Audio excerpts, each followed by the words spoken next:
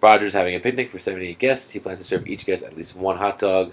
If one package P contains eight hot dogs, which inequality could be used to determine how many packages of hot dogs Roger will need to buy? So he has the 78 guests, and they have to each have at least one hot dog. So you have to have at least, right, greater than or equal to 78 hot dogs.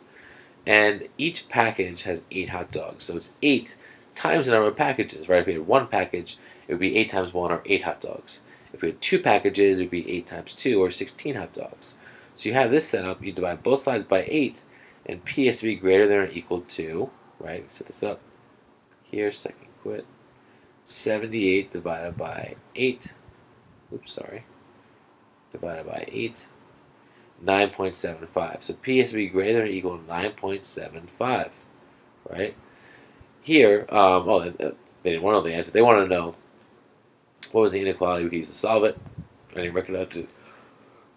Excuse me, but there it is, choice number two.